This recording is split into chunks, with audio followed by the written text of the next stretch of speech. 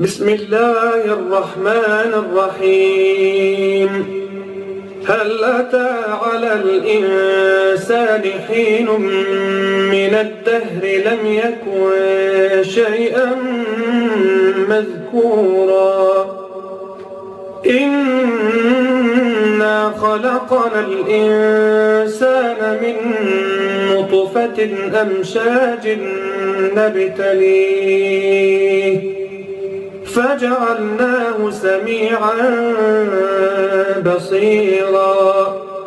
إنا هديناه السبيل.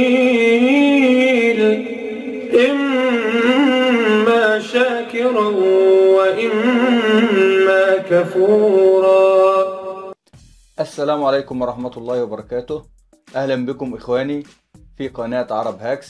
هنتعلم النهاردة إن شاء الله إزاي نحول CD ROM قديم إلى كاسيت داخل البيت أو داخل السيارة بصوت نقي جدا وكفاءة عالية جدا أحسن من أي كاسيت بتشتريه بمبالغ كبيرة. هنعمله بإمكانيات بسيطة وتكلفة بسيطة جدا إن شاء الله. كل اللي هنحتاجه هنحتاج سيدي روم قديم. عندك هنا مجموعة من السيدي روم القديمة. ولابد أن يكون فيها مكان لمخرج سماعة ويكون فيها تعلية وتوطية. في نوعين اتنين زي ما انت شايف في منه ببكرة وفي نوع تاني بزر ممكن تعلي وتوطي منه. الزر اللي بتعلي وتوطي منه ده هلاحظ إن هو 56 X يعني موديل أحدث من ال 52 X وأحدث من ال 44 X. كل ما يزيد الرقم كل ما يكون موديل ال CD ROM أعلى. فسرعته في القراءة والنسخ بتكون أعلى. طبعا الموديلات الحديثة ما بيكونش فيها مخرج سماعة زي ما انت شايف وهو ده النوع اللي إحنا محتاجينه. لا تتوقع إن انت هتلاقي كله شغال. يعني أنا عندي خمسة الحين لما جيت فحصتهم وجدت إن في منهم ثلاثة شغالين واتنين مش شغالين. طيب لو جيت شفت كيف نغذي ال CD ROM؟ هلاحظ إن أنا عندي كام سلك؟ أربع أسلاك بأربع ألوان. من فين ممكن أحصل الجزء ده؟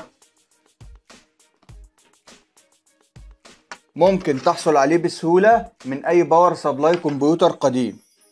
بتاخد الجزء بتاع ال power supply اللي كان بيغذي ال CD ROM قبل كده وتقصه وتبدأ تشتغل عليه. هلاحظ إن أنا عندي أربع ألوان. في عندي اتنين أسود في النص. وواحد أصفر. وواحد أحمر. الاتنين أسود ده يمثل الارضي الأصفر يمثل 12 فولت. الأحمر يمثل 5 فولت. هنحتاج اتنين buck converter. واحد فيهم 12 فولت. وواحد فيهم 5 فولت. رابط تصنيع ال buck converter هتلاقيه في الوصف أسفل الفيديو. ده الفيديو السابق. هنحتاج بطارية أو ترانسفورمر ادابتور ولو جبنا ادابتور المفروض يكون واحد ونص أمبير أو اتنين أمبير عشان الدايرة تكون مظبوطة معايا. كمان هنحتاج سماعات كمبيوتر أي نوع سماعات كمبيوتر يكون بقدرة كافية ويكون الصوت بتاعها قوي. هتعمل عملية تضخيم للصوت الناتج من السماعة هنا. هنجرب التوصيل ونشوف مع بعض. موجب البطارية. مع موجب ال V in وموجب البطارية كمان. مع ال V in هنا في ال converter. كده أنا وصلت ال V in بتاع الاتنين buck converter هنوصل ال positive إحنا قلنا ده كام فولت؟ ده ال 12 يبقى الموجب بتاعه هيتوصل مع الاصفر أنا قلت الخط الأصفر في ال CD ROM هو ال 12 فولت. ال 5 فولت موجب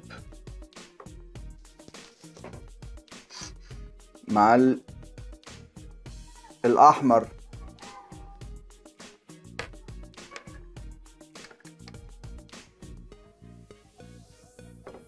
والسالب مع السالب.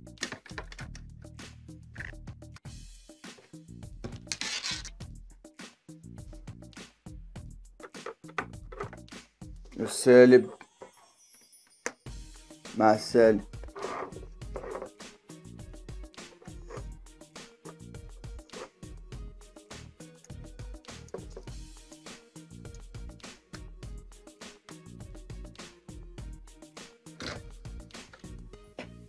الاحظ إن السيد روم خرج؟ أنا عندي CD ROM واحد audio.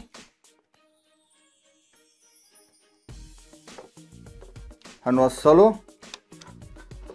هيبدأ يقرأ. الكابل بتاع السماعة.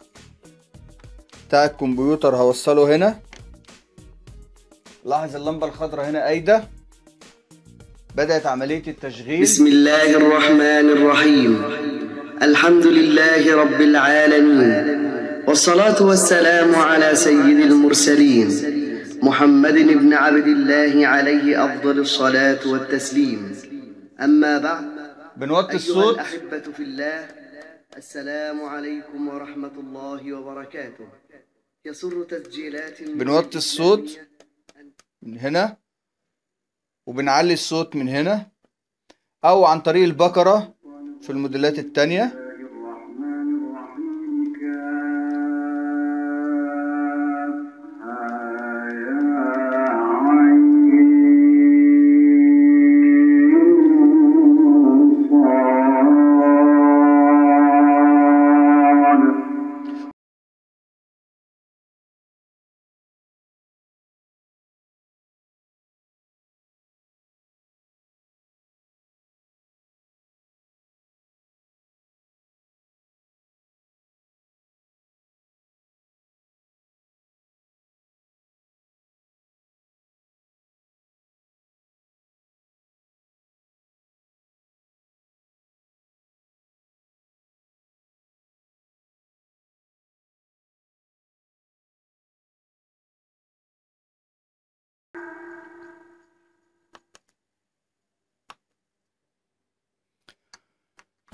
لو انت عايز توصله داخل السيارة هتحتاج دايرة مكبر صوتي لأن الخارج من هنا بيكون خارج الصوت لا يعمل مباشرة على السماعة بيكون الصوت واطي جدا. لازم دايرة امبليفاير تكبر إشارة الصوت اللي خارجة من هنا. لو هتوصله داخل السيارة لا أنصحك بإنك انت توصل معاه منظمات الجهد الخطية. واحد هيقول لي أنا هوصل إل إم 7805 78012 012 هوصله هنا مع الاصفر وال zero خمسة هوصله هنا مع الأحمر وهشغله. بصراحة في CD ROM خرب معايا بسبب هذا الموضوع. شرحنا فرق ما بين منظمات الجهد الخطية وال buck converter في توفير الطاقة والأداء الأفضل. عايز توصل على السيارة هات buck converter. وحاليا في buck converter بيتباع جاهز. ده buck converter جاهز 5 فولت 3 أمبير. رابط شرائه هتلاقيه في الوصف أسفل الفيديو. تمنه رخيص ممكن تحصل عليه وتوصله مع بطارية السيارة أو مع transformer. بينظم الجهد وبيخلي أداء ال CD ROM أحسن وأفضل. طبعا حجمه صغير جدا بالمقارنة بال buck converter اللي إحنا صنعناه. فرق في الحجم كبير يعني. هنتعلم دلوقتي يا جماعة إزاي نعمل أسطوانة audio. بنروح على برنامج ناسخ الأسطوانات ايا كان عندك في الجهاز وليكن برنامج نيرو في Ashampoo في أنواع كثيرة من البرامج. وأنا هدخل على Nero Burning ROM هيبدأ يفتح معايا. في أغلب برامج نسخ الأسطوانات بتلاقي فيه audio CD. حاول توصل لل audio CD وتضغط عليها. وهنا دي سرعة النسخ. أنا بصراحة بحب أنسخ سرعة متوسطة يعني محبش تكون السرعة عالية. هنضغط نيو. هختار اختار الملفات الصوتية اللي أنا عايز أعمل أسطوانة لها. دول الملفين أنا عايز أعملهم أسطوانة للمنشاوي. بس اسحبهم وارميهم هنا. خلاص. هو يبدأ ينسخهم ويديني المساحة. يعني سبعين دقيقة. ممكن نكمل بقى كمان بمقطع. هقول له burn هنضغط على burn من هنا.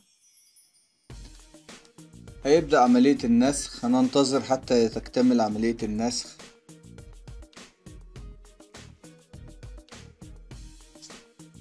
وبكده نبقى حصلنا على audio CD صوت نقي جدا جدا. عشان الكلام يبقى واضح يا جماعة. انت دلوقتي عايز توصل ال CD ROM داخل السيارة ولا في داخل البيت؟ لو داخل السيارة لازم هتحتاج اتنين buck converter لو هتوصله داخل البيت لو انت عندك power supply كمبيوتر يكون أفضل.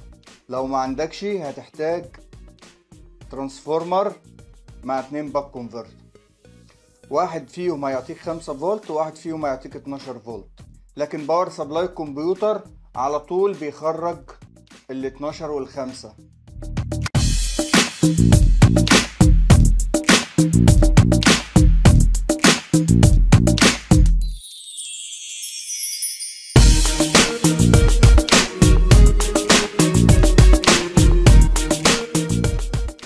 وهتحتاج وصلة السماعة اللي هي هنا.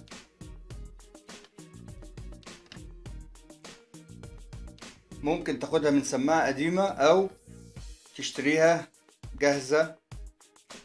تكون رخيصة برضو. خلي بالك هنا بيكون في خطين اتنين مش خط واحد. خط واحد يعني مونو يعني الصوت يطلع على سماعة واحدة. لكن خطين يعني الصوت هيطلع على سماعتين فبيكون الصوت استيريو وواضح وكويس. دايرة audio amplifier اتنين في تلاتة واط. رابط شرائها هتلاقيه في الوصف في الفيديو تحت. لل Arduino. بس هي شغالة معايا هنا برضو. والسماعات دي 3 واط كنت عايز أخلي العلبة دي داخل تقفيلة خشب وأركب معاها سماعات كبيرة. لكن اللي, مو... اللي معطلني بصراحة دايرة ال audio amplifier. يا إما هعمل واحدة يا إما هجيب واحدة جاهزة إن شاء الله. وأوصلها مع ال CD ROM في تقفيلة شكلها كويس. لكن دي للتجربة حاليا. دايرة ال audio amplifier بتشتغل على خمسة فولت. هتلاحظ إن أنا قصيت الخطين الأحمر والأسود من الكابل ده.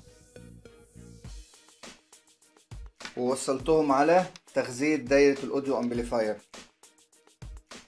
أما تغذية ال CD ROM فهو خدت كابل واحد من هنا ووصلته على ال CD ROM على طول. لكن السماعات دي 100 واط وخارج دايرة ال audio amplifier اتنين في تلاتة واط. فلو دايرة ال amplifier تكبير الصوت تكون متناسبة مع السماعات يكون أفضل. إن شاء الله لما أجيب دايرة كبيرة الوات بتاعها أكبر هوصلها مع السماعات اللي قدرتها كبيرة وهخليها داخل علبة بشكل حلو. المهم تكون الفكرة واضحة والموضوع بسيط وسهل. أتمنى أن يكون الفيديو واضح وعجبكم. مع تمنياتي بالتوفيق والنجاح للجميع. والسلام عليكم ورحمة الله وبركاته.